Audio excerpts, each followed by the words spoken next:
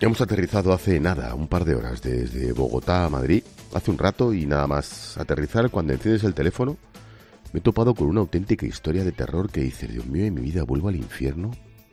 Una noticia de esas que te revuelven el estómago. Y es que no me sale hablar de otra cosa nada más que de este hijo de Satanás. La Policía Nacional ha detenido a un hombre de 25 años, bueno, a un hombre, a, a un cerdo de 25 años, acusado de violar a su propia hija de mesecitos de edad.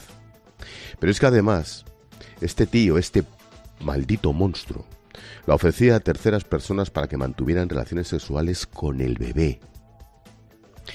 La pareja de este hombre, una chica de 23 años, también está detenida por compartir material pedófilo. El infierno existe y puede estar en la puerta al lado de tu casa. Alberto Escalante, buenas tardes.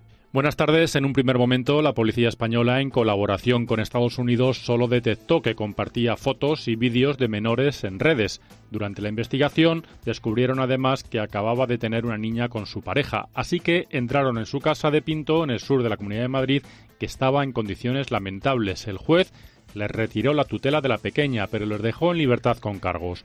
Fue cuando los agentes comenzaron a analizar el material que guardaban cuando encontraron lo peor.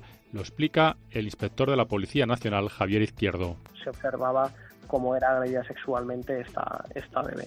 pues tendría entre 6 y 8 meses de edad en el momento de ser agredida sexualmente. Ofrecía la posibilidad de participar en actos sexuales tanto con él como con su pareja como con, con su bebé. Si bien en todo momento él nos manifestó que esto era motivo de, de su deseo por fantasear con este tipo de, de cosas. Inmediatamente le volvieron a detener e ingresó en prisión. La pequeña está bajo la tutela de la Comunidad de Madrid.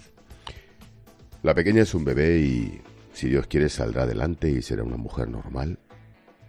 En cuanto a estos dos, el Código Penal, marque lo que marque, se queda corto. Se queda muy corto.